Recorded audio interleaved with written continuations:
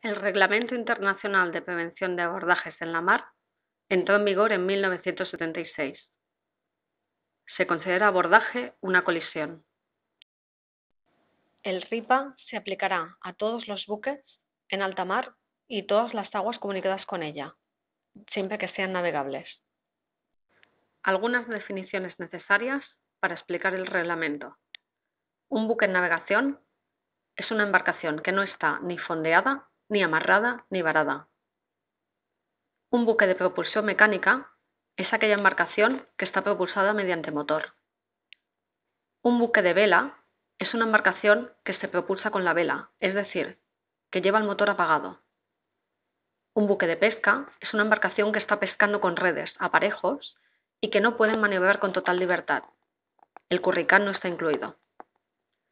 Un buque sin gobierno es una embarcación que no puede maniobrar y no puede apartarse de otras, por ejemplo por una avería. Un buque de capacidad de maniobra restringida es una embarcación que, debido a que está trabajando, no puede maniobrar libremente. Por ejemplo, buques cableros, dragas, oceanográficos, remolcadores, limpiaminas. Un buque restringido por su calado es un buque de propulsión mecánica, es decir, propulsado a motor, que debido al calado que tiene en relación con la profundidad y la anchura disponible del agua, no puede maniobrar con total libertad. Y por último, un hidroavión es una aeronave proyectada para maniobrar sobre las aguas. En el RIPA, cuando hablamos de eslora, hablamos de eslora total, eslora máxima. Cuando hablamos de manga, hablamos de manga total, manga máxima. En el RIPA, cuando nos referimos a barcos a la vista, es sinónimo de buena visibilidad, en cambio, visibilidad reducida es, por ejemplo, niebla, bruma, nieve, aguaceros, tormentas, incluso tormentas de arena. Si hubiera un abordaje, el responsable legal del no cumplimiento del Reglamento Internacional de Prevención de Abordajes es o bien el propietario si está a bordo, o bien el capitán, o incluso también puede ser la dotación, la tripulación. El RIPA se divide en tres secciones. La primera es sobre reglas de rumbo y gobierno. La segunda es sobre luces y marcas que llevan los barcos. Y la tercera es sobre señales acústicas y luminosas que se deben hacer en según qué situaciones. Respecto a las reglas de rumbo y gobierno, hay tres subdivisiones. Aquellas reglas que se aplican siempre en cualquier condición de visibilidad, aquellas reglas que se aplican solo cuando hay barcos a la vista y aquellas reglas que se aplican cuando hay mala visibilidad o visibilidad reducida. Regla de vigilancia. Se aplicará siempre, tanto si hay buena visibilidad como si hay mala. Todos los buques mantendrán en todo momento una eficaz vigilancia visual y auditiva para evaluar si existe riesgo de abordaje, de colisión. En todo momento significa que si estamos fondeados, varados, navegando, siempre, siempre que no estemos atracados.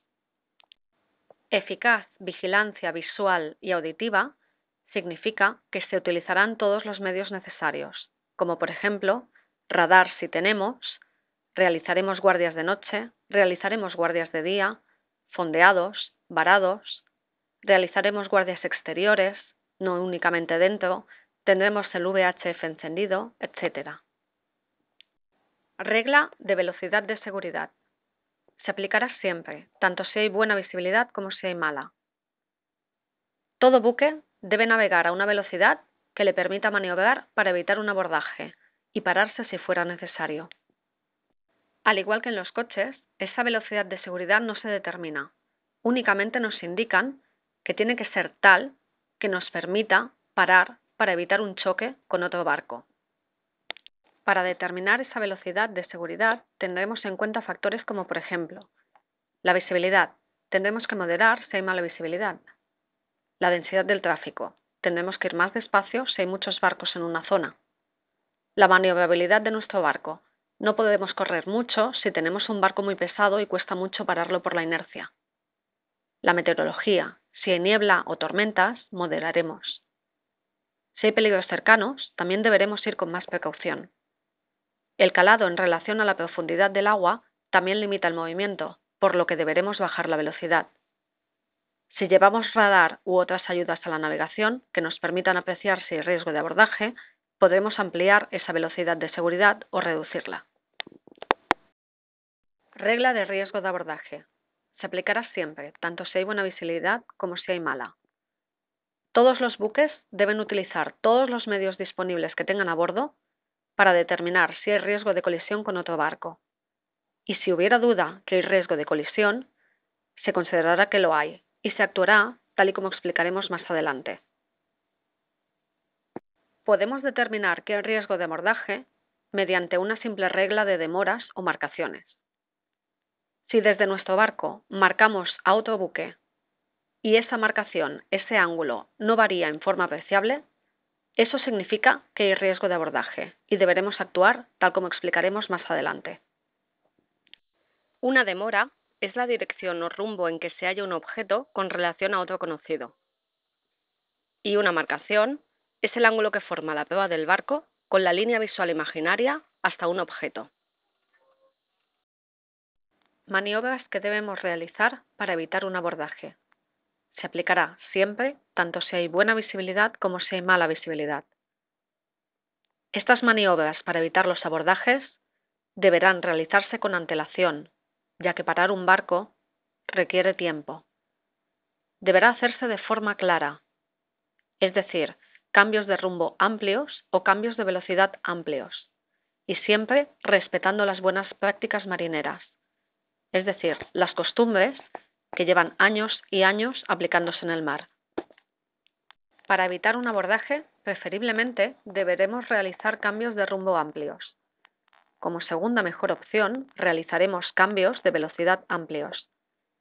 Deberemos evitar cambios de rumbo o velocidad pequeños para que el barco con el que existe riesgo de colisión pueda apreciar de forma clara que vamos a realizar una maniobra para evitar el abordaje y así no tenga él que realizar otra y volvamos a la situación de inicio. Más adelante veremos quién tiene que maniobrar, dependiendo de la situación en que nos encontremos. Veremos más adelante las reglas sobre quién tiene preferencia o quién maniobra. Pero aunque un barco tenga preferencia y deba ser el otro el que se aparte, éste siempre tiene la obligación de evitar un abordaje si viera que el otro no realiza ninguna maniobra para evitar la colisión, o bien la maniobra realizada es ineficaz y sigue existiendo riesgo. Regla de canales angostos, canales estrechos. Esta regla se aplicará siempre, tanto si hay buena visibilidad como si hay mala. Deberá navegarse cerca del límite exterior del canal, es decir, el costado de estribor preferentemente, siempre que ello no entrañe peligro para nuestro barco. En los canales angostos los barcos de menos de 20 metros, nuestro caso, o bien los de vela, recordemos, únicamente propulsados a vela, o bien los pesqueros, no deberán estorbar a otros que solo puedan navegar por dentro del canal, como por ejemplo los mercantes. Intentaremos no cruzar un canal angosto, y si lo tenemos que cruzar por cualquier motivo, intentaremos cruzarlo lo más perpendicularmente posible. Igualmente, Evitaremos fondear en un canal angosto. Cuando en un canal angosto pretendamos alcanzar, adelantar a otro barco, deberemos emitir unas pitadas.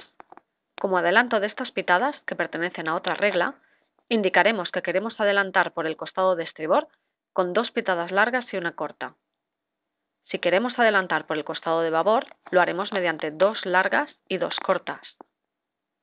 El barco adelantado podrá dar su no conformidad de ser alcanzado con una larga y una corta. Y su conformidad con una larga, una corta, una larga, una corta.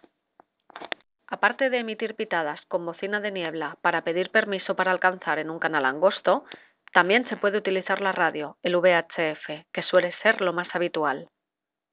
Las pitadas reglamentarias se harán con la bocina de niebla que debemos llevar obligatoriamente. Una pitada corta dura aproximadamente un segundo y una pitada larga entre 4 y 6 segundos. Si un canal angosto tiene un recodo de visión difícil y pretendemos entrar o salir de él, también deberemos emitir unas pitadas. En este caso, emitiremos una pitada larga de 4 a 6 segundos cuando un barco se acerque a un recodo con mala visibilidad y el barco que conteste al que está en el recodo contestará también con una larga.